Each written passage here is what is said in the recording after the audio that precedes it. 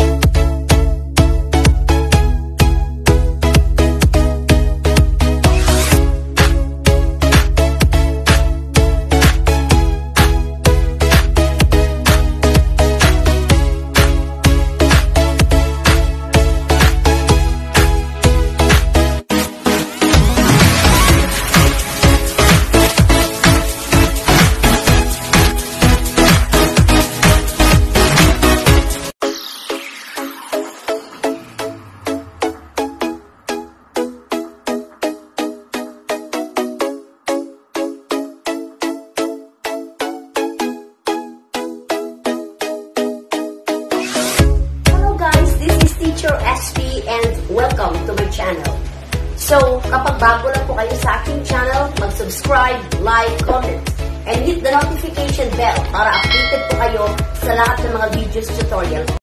And I have here an example. A right prism base is a triangle whose sides are 6 centimeters, 8 centimeters, and 10 centimeters. We are going to find the volume and the area of the prism if its height is 18 centimeters. So we know guys that ang uh, volume ng ating or the formula for the volume is equal to area of the base times height. Pero if you're going to check our problem, we don't have an area. So how are we going to get the area? What formula are we going to use? So this is an example of a, a right prism whose or a triangular prism in short. So paano po natin guys gagawin yon? So since we have three sides, so meron po tayong 6 centimeters, 8 centimeters, and 10 cem- centimeters. If you could still remember the Heron's formula. So ngayon, gagamitin po natin ang Heron's formula. So, ang Heron's formula, guys, we can use Heron's formula in solving for the plane figure. Ito po yung the square root of side times side minus A times side minus B times side minus C. So, the formula for the Herons is equal to the square root of S times S minus A times S minus B times S minus C. This A is what do you call the area of the base. Dito po sa volume, gumamit po tayo ng variable na B. So, we can use either A or B. Pwede rin. So, A or B. So that you will not confuse. Ngayon, meron po tayong given na 6, 8, and 10. And tinatawag po natin guys ito na sides. And if we are going to substitute this in the Heron's formula, wala pa po tayo na side. So, paano po ba yung formula ng side? So, that is equal to A plus B plus C divided by 2. So, what are you going to do is, ka sa substitute na po natin ang given natin. So, ito po yung 6 ay A, ito po yung B ay 8, at ang C ay 10. Okay, so, S is equal to 6 plus 8 plus 10 divided by 2. So 6 plus 8 will give you 14. 14 plus 10 will give you 24 divided by 2. So S is equal to 24 divided by 2 or 12 centimeters. So, this 12 centimeters, guys, ay ito na po yung side. So, paano po natin makukuha ang area of the base? So, you go back again to your Heron's formula. Tapos, isa-substitute na po ninyo. So, gagamit po tayo ng B na lang. Kasi sabi ko just now that you can use A as your area or you can use also your B as your area. So, substituting the given, ang ating side ay 12. So, 12 times the quantity of 12 minus your A.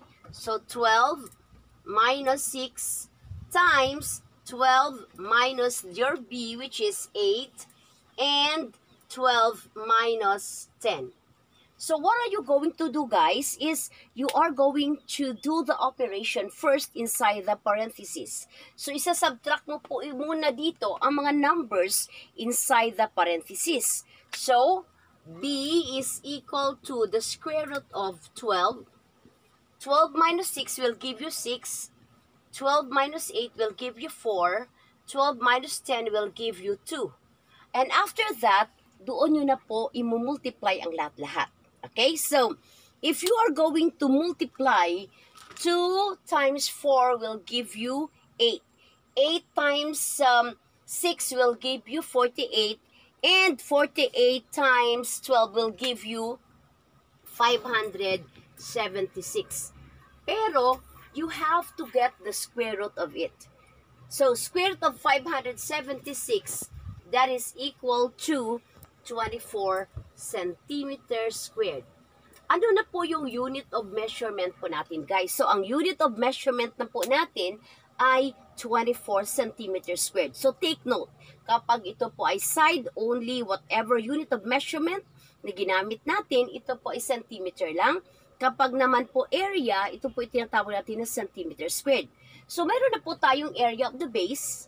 And then, in our problem, you go back again to your problem, then, your height is 18. So, we can now get the volume. Kasi nahanap po dito ay find the volume.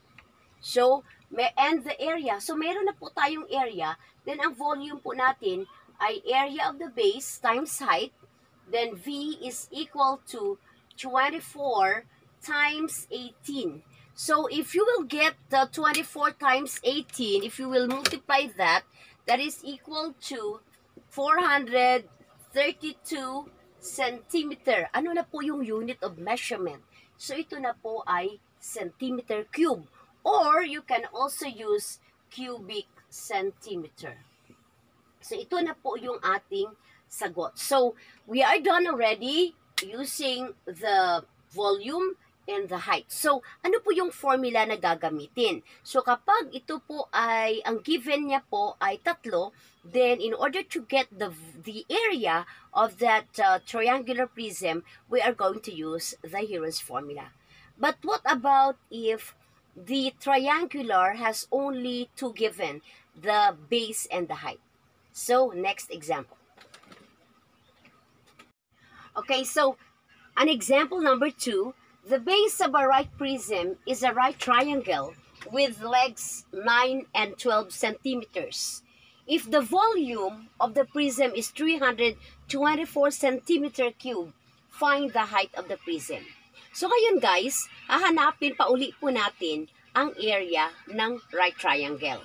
So ngayon, meron po tayong given kanina sa example number one po natin, I have given you three uh, example or three sides and we use the Heron's formula. But what about if dalawa lang po ang given? So ngayon, meron pong formula tayo na a right triangle, if the base and the height are given, use this formula and that is equal to 1 half times base times height.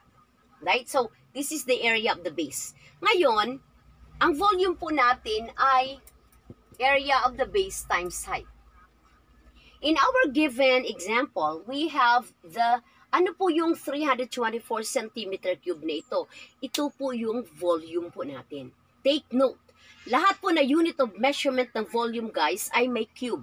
Kung, kung, kung if you use the, the inches, gumamit tayo ng cubic inches or inches cube. Kung feet man ito, cubic feet or feet cube. So ngayon, meron po tayong volume but we don't have area of the base. Hinahanap po natin ang height and later on, we are going to derive the formula based from the general formula of the volume. Okay, so now, area is equal to, babalikan mo uli guys ang problem.